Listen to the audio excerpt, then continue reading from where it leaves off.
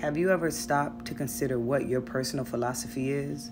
Your personal philosophy comes from a variety of sources, like your upbringing, culture, religion, education, life experiences, and the people you choose to surround yourself with.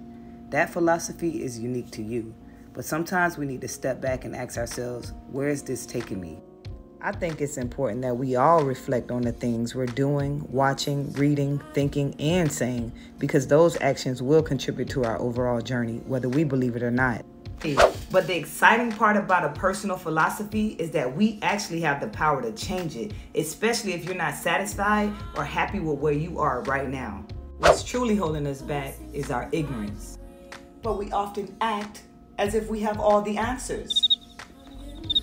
Ignorance is not bliss.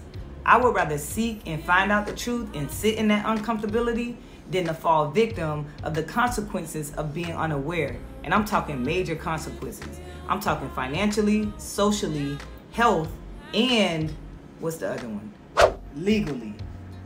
We are always unconsciously rating and weighting our thoughts. But I'm here to tell you that most of our mental scales are off.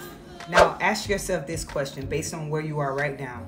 If I keep up my same disciplines and my same pace, where would I be in the next five years?